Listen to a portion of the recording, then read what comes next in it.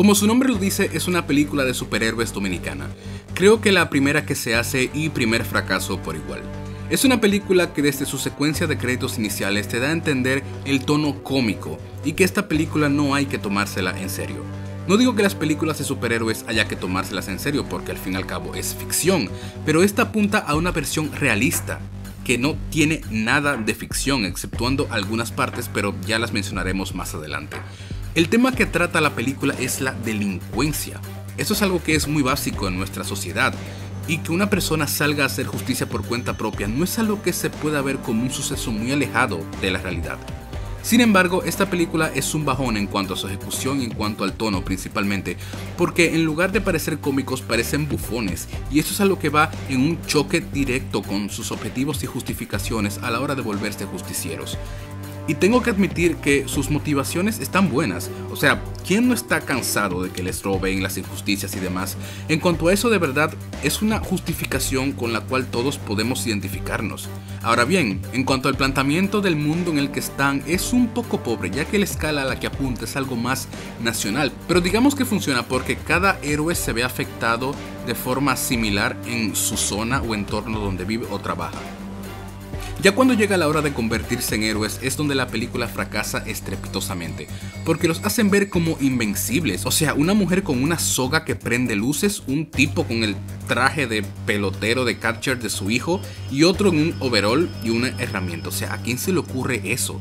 Y ellos tres ponen en jaque a todo el mundo. Y esa es la única parte de ficción que puedo resaltar de la película, porque es que no, no entiendo cómo los villanos, entre comillas, de aquí pueden intimidarse con eso. Además que los villanos de aquí, o la mayoría de ellos son solamente dos que afectan el barrio.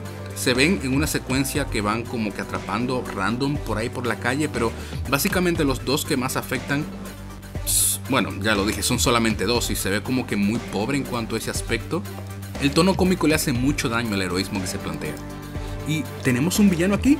Pues sí, uno del que no vale la pena mencionar porque es el típico que da órdenes y su plan no tiene mucha lógica. Es un aspirante presidente el cual quiere ganar la presidencia para acabar con la corrupción.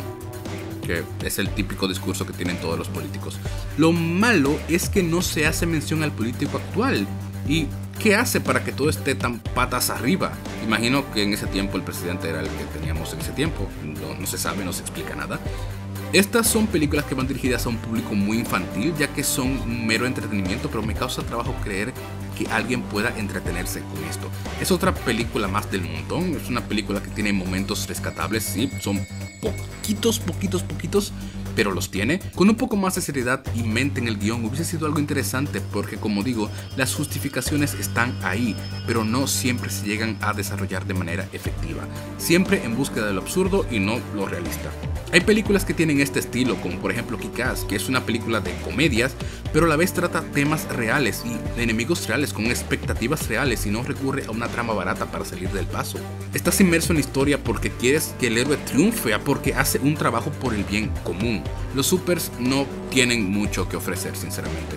Es como una falsa expectativa, pero no llega realmente a convencer a nadie. Y esto ha sido todo, no quería dedicarle mucho tiempo porque no lo vale. Like si te ha gustado, comenta qué te pareció la película, comparte y todas esas cosas bonitas.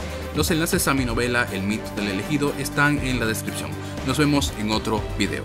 Y si quieres echarle un vistazo a la película, pues adelante. Date tu, tu gusto culposo, que se le puede llamar así. Bueno, nos vemos en otro video.